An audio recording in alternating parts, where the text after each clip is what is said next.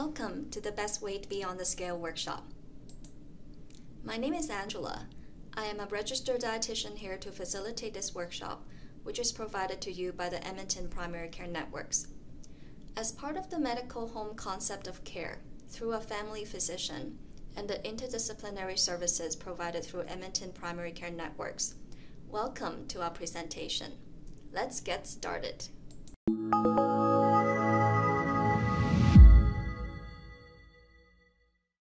Welcome to your medical home.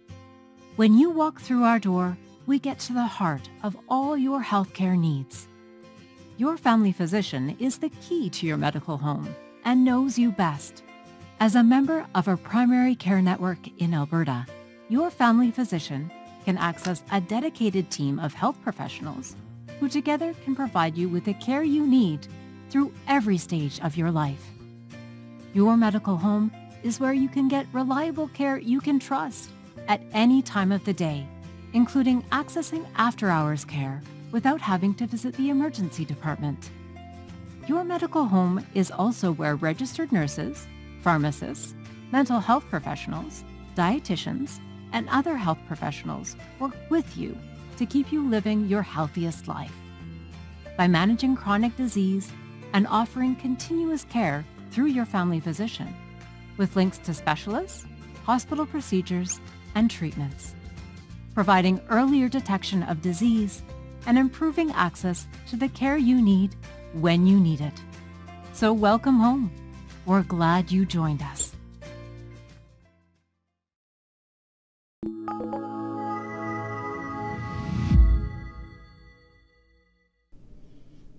Are you expecting to get a number or an ideal weight out of today's workshop? Or hoping to get a meal plan to follow? The truth is, the internet has millions of different meal plans to choose from. If they're really working, why are we still here attending this presentation? We're here not because of a lack of knowledge in nutrition, but because there is a missing link in understanding our best weight. Therefore, we will not focus on nutrition or a specific number on the scale today, but instead, we will set you up with success in managing your weight expectation. Here's today's outline. The information of today's presentation has been adapted from the following three resources. Canadian Adult Obesity Clinical Practice Guideline 2020. Best Weight, a practice guide to office-based obesity management. Let's talk about weight. No size fit all. Throughout the presentation, I will be citing quotes from these resources in my speaker note. We will also go through a handout called My Iceberg. Oftentimes, people find it helpful to have a pen and paper ready to take some notes. If you haven't done so, please take a moment to pause the presentation and print the handout from the website so you can follow along. Weight issue may be a new concern for you, or you have tried different methods to manage weight before. Often, people with experience in weight management comment that diet and exercise do work, but they also don't work. For the purpose of today's presentation, the term weight and obesity will be used interchangeably. First of all, let us recognize that obesity is a medical condition. Weight is not a behavior. What is obesity then? It is a complex, progressive, and relapsing chronic disease characterized by abnormal and or excessive body fat that impairs health. It requires individualized treatment and long-term support. I'm going to play a video done by Dr. David Macklin. He's an expert in weight management. The video is called The Gatekeeper, The Go-Getter, and The Sleepy Executive. It helps to provide further insight into answering the question, what is obesity? This video will take about 9 minutes and 43 seconds long. Enjoy.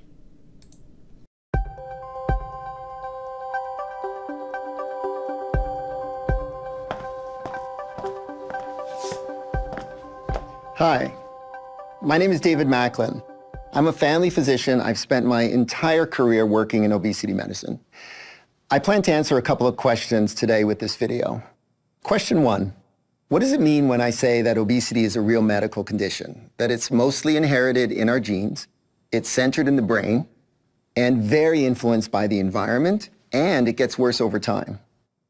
Question two, successful, effective, long-term treatment exists for people living with obesity, but what is that treatment and how does it work? Good science tells us that around 70% of the risk of struggling with obesity in our lifetime is genetic, passed down from our parents. What many don't know is that these genes, the majority of them, are in the brain. We each inherit a unique appetite system. This is where your weight gets determined and regulated. It has three layers. They're all interconnected. They're called the homeostatic system, the motivation system, and the executive system. This system evolved in an environment where calories were really scarce and finding food involved work and therefore required motivation to go and get. Our prevailing understanding of obesity and why it happens is that this ancient system has collided with our modern food environment.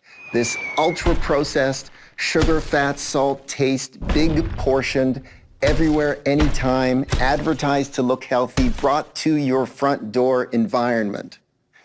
You might think the consequences of this collision would be complicated, but they're not. In fact, I'm going to invite you to sit back and I'll tell you a story of how this works. And more importantly, answer these two questions. The story I will tell you is called The Gatekeeper, The Go-Getter, and The Sleepy Executive. Let's get started with The Gatekeeper. It's about time. The gatekeeper is the first layer, the homeostatic system. Gatekeeper, tell them what you do. I defend against fat loss.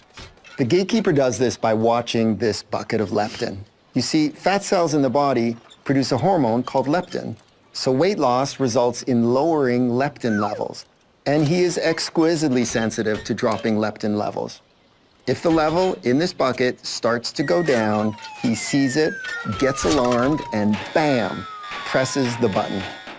He does this because to our ancestors, weight loss was never good news. They didn't lose weight to look good for a wedding. They lost weight because the food supply was interrupted. This alarm gets sent up to the next level. Gatekeeper, can you explain? This button makes him work harder. Did someone call me? Is there food? We need food. We should get food. Food! This is the go-getter. He represents the middle layer, the motivational system. He motivates us to go and get food. Remember in our former environment, the motivation to go and get food was critical. Wanting is the most common name for this motivational drive, but it's also called cravings or desire or urge or impulse. Wanting acts like a wave. It rises, it crests, and it falls. Go-getter, tell them what you do. When I eat a lot of food, or really good food, this is the concept of tasty foods that are dense in calories and quick energy. The body is set up to signal our go-getter when we eat these types of survival ensuring foods.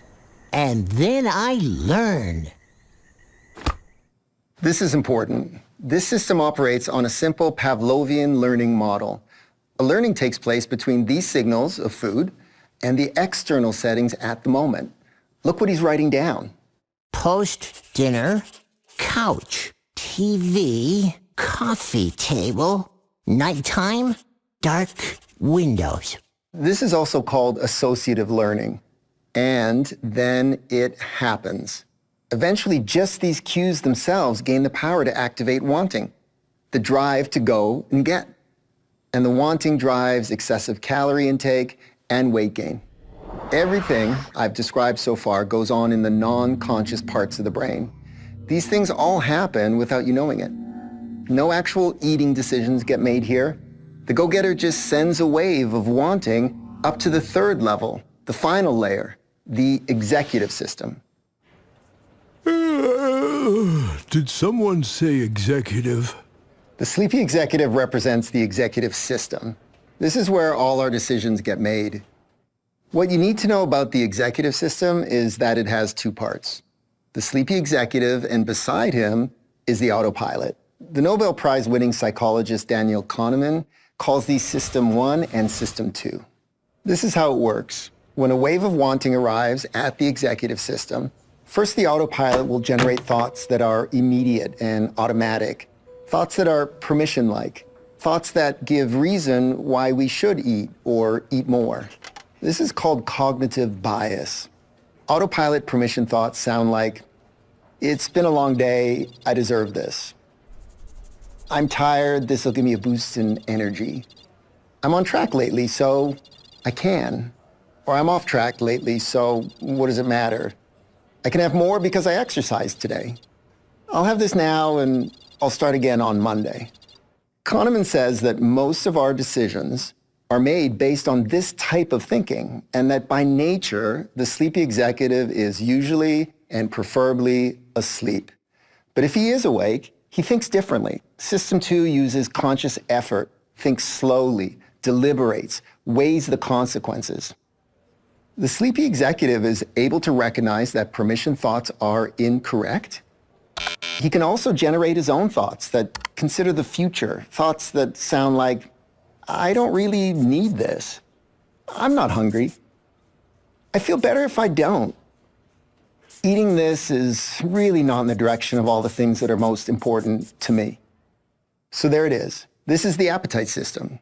Weight loss is defended against. A conditioned wave generated from underneath is shuttled up to the executive system where the autopilot convincingly describes why we should. And all we have is a sleepy executive to stand up to all of it. This system collides with the modern food environment and bam. And now you know where the differences in genetic risk are found. They're found here within these three characters. One person's gatekeeper will oppose weight loss much more strongly than someone else's. In one person, the go-getter will learn more quickly, be more sensitive to cues, and generate a taller wave of wanting. Some people's sleepy executive will be, well, sleepier. And so, obesity is a real medical condition, mostly inherited, centered in the brain, influenced by our environment, and progressive. Yeah. And now you know why. This framework answers our first question. My second question was about treatment. There are three types of treatment, and now you'll understand how they work. Behavioral therapy, medication, and surgery. You now understand that behavioral therapy is about developing skills and confidence that keep the sleepy executive as awake as possible just when he or she is most needed. Remember that the gatekeeper and the go-getter are in non-conscious parts of the brain that are inaccessible to us. We can't get there ourselves, but medication can. And so this is exactly where our best weight loss medications work. They dampen the height of the wave, making it smaller, and the go-getter becomes less active and less sensitive to cues. The gatekeeper relaxes and becomes less bothered by dropping levels of leptin. And this makes the work of the sleepy executive much easier because he's not facing a tidal wave from underneath, and weight loss and weight loss maintenance become more likely. So, would you consider that past weight loss efforts were difficult not because of some flaw in your character or lack of strength or motivation or willpower, but instead because you are struggling, untreated, with a real medical condition? Both behavioral therapy and medications exist that are effective in treating this real medical condition. Please ask your physician for help in finding the right support for you. Thanks for listening.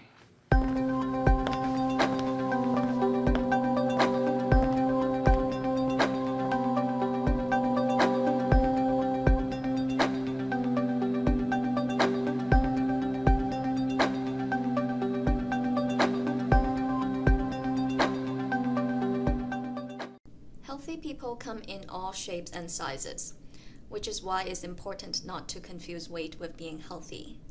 When excess body fat is impairing a person's medical function or psychosocial health, then the person is said to have obesity. However, do not assume that every person with a larger body has a medical condition called obesity. So, do I have obesity? You may have heard about the body mass index or short for BMI. It is often used to determine if a person has obesity, assess an individual's health, or use as a personal weight goal. It is calculated based on a person's weight and height. However, according to the new Canadian Obesity Practice Guideline 2020, BMI is not a reliable assessment tool when used alone because it fails to consider many factors that have an impact on health, such as race, gender, body frame, muscle mass, age, lifestyle, weight history, activity, etc. Therefore, the guidelines suggested that a comprehensive health history and assessment is required to identify those who will benefit from obesity treatment. As you can see from the picture on the screen, people who belong to the same BMI range can have very different body shapes, and that represent different health risk. Let's look at the two people on the right hand side of the picture. They both belong to the quote unquote obese category according to a BMI. Yet, when you do a proper health history and examine them individually, person A has lower health risk compared to person B despite having the same BMI. On the other hand, some people in the quote unquote healthy weight category can have excess fat that impairs their health and therefore require obesity treatment.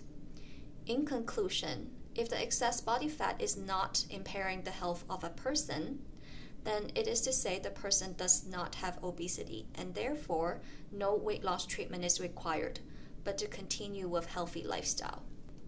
In the same way, BMI alone is also not appropriate to be used as a personal weight goal. The goals of obesity treatment should be improved health and well being and not just weight loss. Making better lifestyle choices can lead to a healthier you and decrease health risk, even if they don't result in weight loss. What is best weight?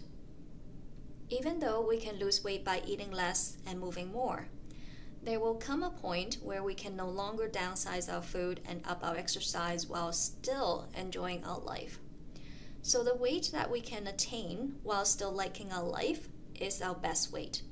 It is determined by genetics and lifestyle together. The concept of best weight has far more value than the body mass index, the ideal weight, or the waist circumference alone, because ultimately we're trying to improve our quality of life. Treating the root causes of obesity is the foundation of obesity management. It is a critical step in building an individualized treatment plan. Obesity Canada suggests four categories for potential root cause of weight gain called the 4M mental health, such as depression, anxiety, mechanical, such as activity restriction, sleep disorders, metabolic, such as heart disease, diabetes, monetary, such as financial concern regarding medical coverage and limited grocery budget. It is important to consider your weight journey and the contributing factors before making changes in life. It is common to assume weight gain is a byproduct of overeating and lack of exercise. Therefore, the treatment logically would be the reverse eat less and move more. Unfortunately, the weight is just the tip of the iceberg. It is a symptom of something that's much bigger and deeper underneath the sea level. Without acknowledging and treating the root causes of weight gain, it's like treating an infection by putting a band aid on without finding the cause. After all, weight management is more than a simple math equation of calorie in and calorie out. The following activity will help you to understand your personal iceberg, to gain insight into your previous weight management attempt, and help you to decide what your future plan would be. Let's take out your copy of the handout called My Iceberg and circle all the root causes that are applicable to you as specified under the 4M. If there are some root causes that are not on your handout, feel free to add your own. If you need a couple more minutes, you're welcome to pause the presentation and restart when you're ready. When you take a look of your own personal 4Ms, would you still agree with the statement that weight loss is simply eat less, and move more? The new Canadian Adult Obesity Guidelines suggest five major treatment options in managing obesity. What treatment options you need is based on your medical conditions as well as what is important to you. Nutrition therapy. Healthy eating is important for everyone, regardless of body size or health. However, your health is not a number on a scale. There is no one size fit all healthy eating pattern for obesity management because what works for one person may not work for you.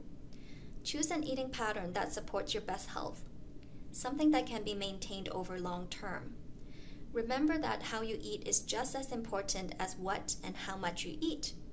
Practice eating mindfully and build a healthy relationship with food. Physical therapy. Increasing physical activity is one of the core treatment options. It provides a wide range of health benefits, regardless of your BMI, even in the absence of weight loss. Often, when people become more active, they gain strength, range of motions, better mood, and be able to do things they couldn't before. Find something you love doing, including aerobic and resistant training.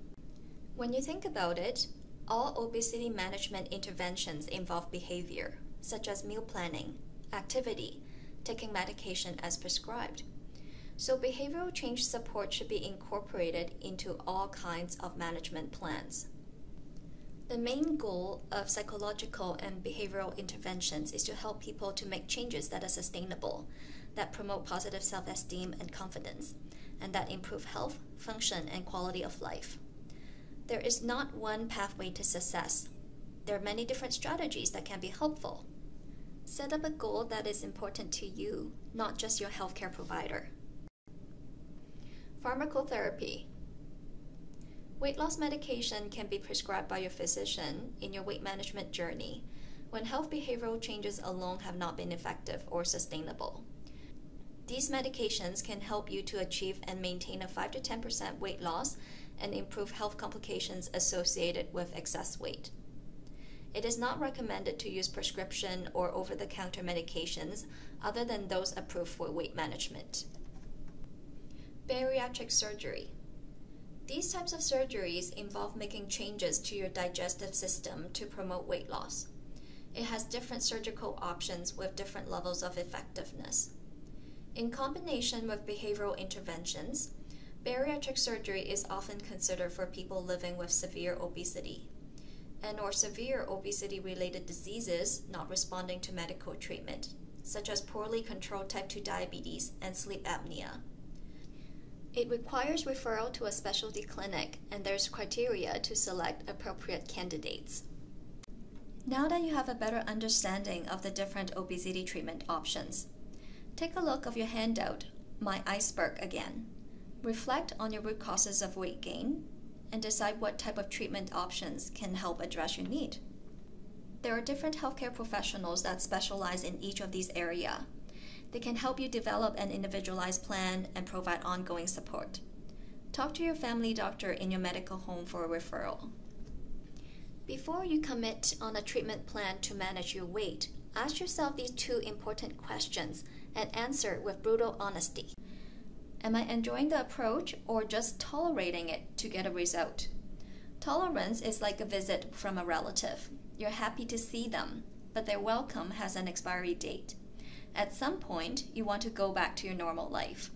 On the other hand, a weight management method that is enjoyable is something that you love so much that you look forward to doing it every single day. Second question Can I do this for the rest of my life? If you want the weight loss result to stay, whatever you do to achieve the outcome needs to stay as well. Think of it like laundry. The moment you stop doing it, that's the moment the dirty clothes start to pile up. And that's why the first question is so crucial, because you're more likely to do it your whole life when it is enjoyable. Even though diets lead to short term success with weight loss, there's actually a 95% failure rate for most diets. Shocking, right? According to research highlighted within the latest obesity guideline, calorie restriction can achieve reductions in weight over short term, or less than 12 months but has not been shown to be sustainable long term, or more than 12 months. Caloric restriction may affect brain pathways that control appetite, hunger, cravings, and body weight regulation that may result in increased food intake and weight gain. Is our body failing us when the weight is regained? Quite the opposite. Evolution biology is designed in a way to revert weight loss. When food intake decreases, various body signals and neurotransmitters will work simultaneously to protect the weight. Our bodies are not failing us when we regain the weight after a diet. In fact, they are working just the way it is intended by following millions of years of evolution biology. The booklet, Let's Talk About Weight No Size Fit All, has a paragraph on page 11 that nicely summarizes the yo yo weight cycling experience. And this is what it says. While going on a restrictive diet can result in rapid or drastic weight loss, it can also slow down your metabolism in a significant way. Not only can a slower metabolism and feelings of deprivation can have a negative impact on your weight, but the weight loss can also increase your appetite. When this happens, you're likely to give up, start eating as before, and even experience binge eating and put back on the weight that you lost, and possibly more, which will make you want to restrict your diet all over again. And so your weight goes down, and then up, and then down, and then up, just like a yo-yo. If you would like to take a look of this booklet, it is posted on the PCN website where you find this presentation. It is also listed on the reference page at the end of this PowerPoint. This yo-yo weight cycling is so frustrating that some people wish they have a time machine to go back and not start the dieting, because at least their current weight is not higher than their initial weight. If your weight management journey does not show a yo-yo pattern, let's learn to prevent it from happening. I'm going to play a video done by Dr. Arya Sharma, another expert in obesity management. The video is called How to Lose 50 Pounds and Keep It Off. It will help further explain the chronicity of obesity. It takes about 10 minutes long. Enjoy!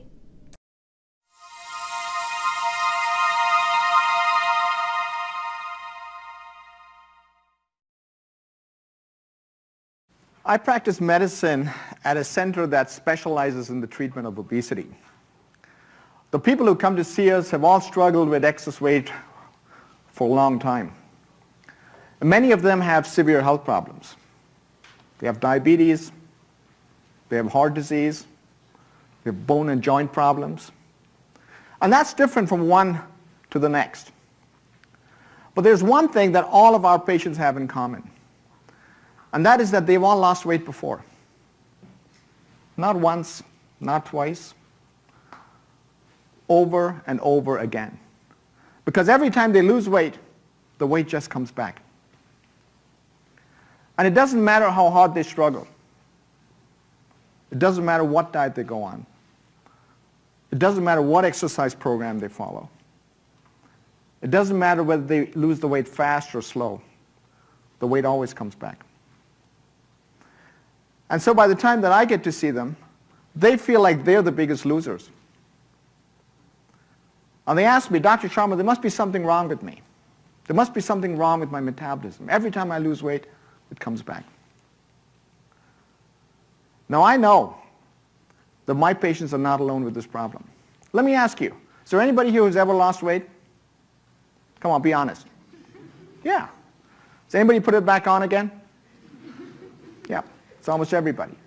Because we know that out of 20 people who go out and lose weight, it doesn't matter how they do it, 19 are going to put the weight back on. And so the question is, why is this so difficult? You know, why is losing weight one thing, but keeping it off is where the real struggle is. Now we understand that there's a complex neurobiology that regulates our body weight. And we understand that this complex neurobiology also defends us against weight loss. And it's complex. You know, this is not calories in, calories out. That's, that's physics. You know, I'm talking physiology. And the way that I think about physiology is it's your biology messing with physics.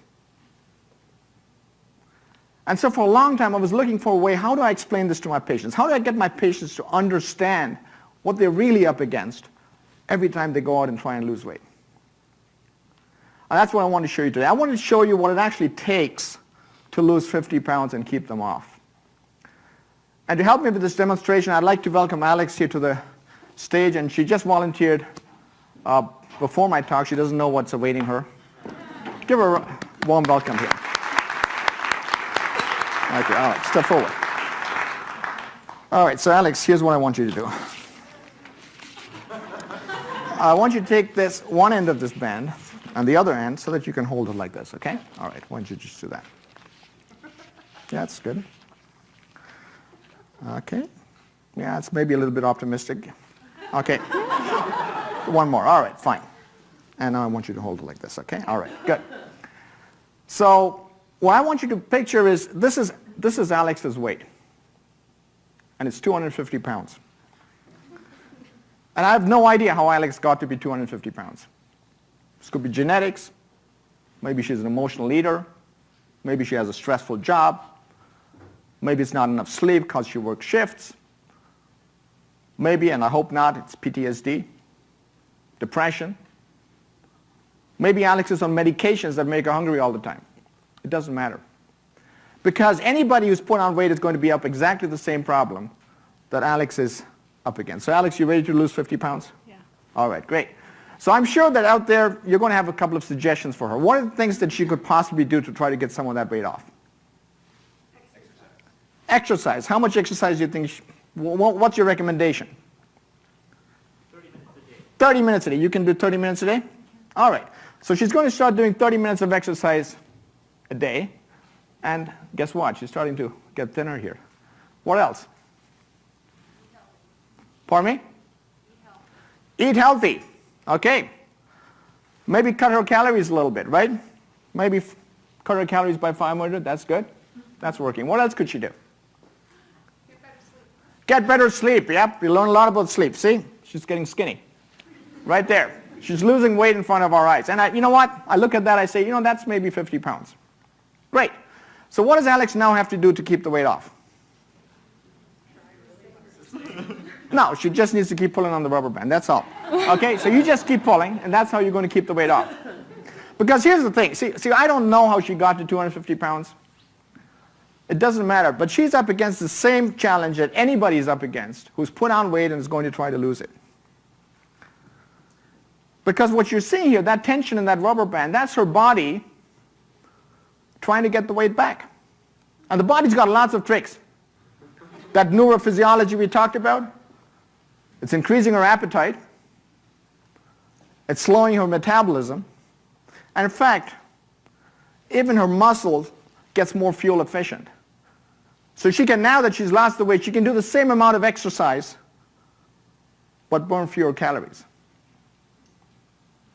And so the tension you see, that's just her body wanting the calories, wanting the body weight back. And she's going to have to keep pulling on that. And she's doing a great job. We're just going to let her stand there and keep pulling. Because, because you see, that's the problem. The problem is, right now, there's about a billion people in this world, men, women, children, living with obesity. And we don't have a cure. Now, I wish that we, we even had some way to prevent this from happening in the first place. But if, we, if you get the prevention going, that's still not going to help the people who have the problem. And all the people who have the problem, you know, they're going to try to lose weight, going to diet, they're going to exercise, and most of them are going to put the weight back on. Alex, how are you doing? Great. so, I know this is depressing. yeah, you guys are getting depressed. You know, my patients get very depressed when I tell them this, and I'm very depressed. But when I look at this, you know, I, you know, I just see another chronic disease. Now I look at my patients with diabetes. You know, they come in. She's putting some of that weight back on already. you know, my patients with diabetes come in.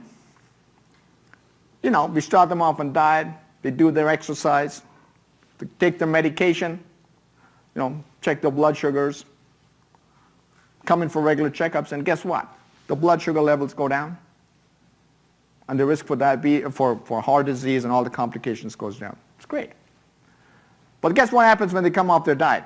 Guess what happens when they stop their exercise, or they stop their medication, or they stop coming in for visits? Blood sugar goes back up. All the problems come back. I look at my patients with high blood pressure. It's the same story.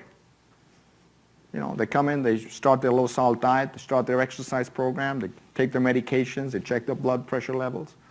They come in for regular visits. We bring the blood pressure down. Great. Reduces their risk for heart attacks and strokes. Now guess what happens when they stop exercising, when they come off their diet, they come off their medications? Guess what? Risk goes back up. That's chronic disease. Every chronic disease, you stop the treatment, that's what happens. The disease comes back. And obesity, you stop the diet, you stop the exercise, you stop taking your medications, you get your bariatric surgery undone, guess what? Weight's coming back. And that is exactly why the Canadian Medical Association, the American Medical Association, they've all now come up and said, you know, once you have obesity, you've got to look at it as a chronic disease because it behaves like a chronic disease. It's not about shame or blame. It's about accepting the fact that the problem you're up against is like the same problem that anybody's up against who has a chronic disease. And so what I tell my patients and what I want to tell you today, if you yourself or someone you care about has obesity, tell them to get professional help. Tell them to get help from a doctor, from a nurse, from a dietitian, from anybody who's trained as a health professional to manage chronic disease. Because the principles of chronic disease management, they are well known. They're established. Patient education, self-management, regular monitoring, regular ch checkups, coming up with a realistic treatment plan that you can actually stay on. And we do that for patients who have diabetes. We do that for people living with heart disease. We do that for people living with high blood pressure. And that, ladies and gentlemen, is exactly what we need to be doing for people living with obesity. Thank you so much, and give her a big hand. Thank you. The video we just saw reinforces that obesity is a chronic condition. Successful weight management requires for a long-term strategy. Relapse or weight regain is virtually inevitable when treatment is stopped. Now we're going to move on to plateau. Plateau is actually normal. Remember that your body's job is to survive by storage? Plateau is a sign that your body's working. Because continuous and unstoppable weight loss usually is the first sign that there's something wrong with the body. So, what causes a plateau? As a person's body becomes smaller, it also burns fewer calories and will reach a plateau where the weight is stable. Once you've reached a plateau, ask yourself, can I make additional changes and still enjoy my life? For example, could I eat fewer calories and still enjoy my life? Could I exercise any more and still enjoy my life? Can I manage my stress better? Can I get better sleep? If the answer is yes to any of the above, it is a plateau. Typical plateau could last several weeks to several months. Be prepared because there are more than one plateau during the journey. You can imagine it as going downstairs. On the other hand, if you don't think you can make additional changes and still enjoy your life, and your weight has already been stable for 6 to 8 weeks, then you've likely reached a floor where no further weight loss is likely to occur. And this is your best weight. This is the weight that a person can achieve and maintain while still living their healthiest and happiest life. So stabilize your best weight and continue to focus on improving your well being body functions, and quality of life. How much weight loss can be expected? Instead of solely using BMI to implicit weight loss and determine weight loss goal, it is recommended to use a comprehensive approach to look at weight-related health problems, mental health, and quality of life. Do you really need to lose weight? If so, which strategies are appropriate for you? Let's take a look at the table on the screen.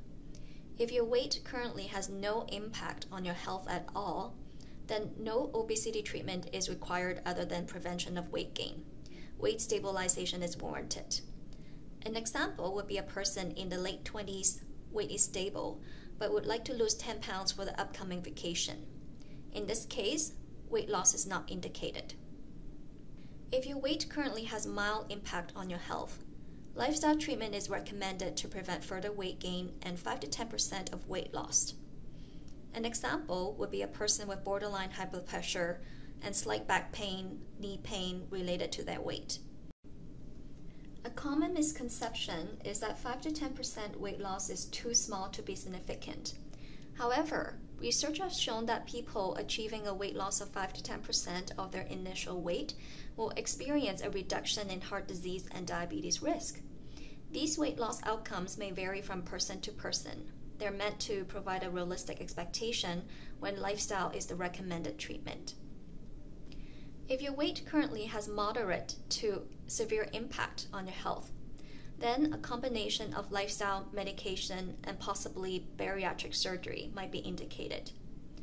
An example would be a person with a few advanced medical conditions, such as poorly controlled type 2 diabetes, severe sleep apnea, heart attack, stroke, disabling arthritis, severe depression, diabetes kidney disease, Weight loss medications, when used in addition to medical nutrition therapy and physical activity, can produce an additional average weight loss of 5 to 15%, depending on the drugs and the dosing. Bariatric surgery in combination with health behavioral modification can result in significant long term weight loss, up to 20 to 40% of your body weight. In some cases, even complete remission of obesity related diseases, including type 2 diabetes sleep apnea, fatty liver disease, and hypertension. However, weight loss results vary from person to person, as it depends on the type of treatment combination you and your healthcare provider decided on and how your body responds to it. Take a moment to think about your weight's relationship to your health. Is it no impact, mild, or moderate to severe? Is weight loss indicated? If so, which treatment is recommended. Calculate the weight loss outcome based on your highest adult weight. Is the outcome aligned with your expectation? When we have mismatched weight loss expectations with the chosen strategies, it is going to be a recipe for disappointment, even though you might have already met the goals by the treatment standard. Weight expectation. Often, we're so focused on losing weight we lose sight of the things that we're doing so well already, such as stopping the yo yo dieting cycle. It's important to remember that preventing further weight gain is an accomplishment in itself. Stable weight is better than up and down weight for our physical and mental health. You've heard the saying, slow and steady wins the race. It's not a competition. It's not about how fast and how much you lost but rather if you're able to maintain the behavior and treatment plan in an enjoyable and sustainable fashion. If weight loss is faster than 2 pounds per week continuously, you might be losing too much muscle mass, thereby jeopardizing metabolism. Ups and downs are normal. Remember that your weight can fluctuate from morning to night, even a few pounds from one day to the next. Beside the fat mass, when you step on the scale, you're also weighing your organs, your muscles, fluid, etc. Things like your digestive process and your hydration level, hormonal status, all play a factor to your weight. Just like looking at the stock market, it's better to look at the weight trend over a longer period of time than focusing on the day to day variation. Checking your weight too often can lead to unnecessary discouragement and fall into the trap of restriction cycle like yo-yo dieting. When you accept your best weight, you're more likely to reduce self-bias and in turn accept and appreciate your body. Appreciate the concept of health at every size. Because there's a wide range of healthy weights and sizes that people can be healthy and have high quality of life. Are you ready to make a change? If so, Consider choosing a behavior that speaks to your core values to improve your health and well being. After all, your health is not a number on a scale. Often people think of weight or health management like climbing the Mount Everest, and success is only when you reach the top. If that's true, then you will likely miss the whole experience and not feeling very happy along the way. Instead of a mountain, think of weight and health management like a journey and we don't know where it leads us. So we just do our best every day and enjoy the scenery along the way.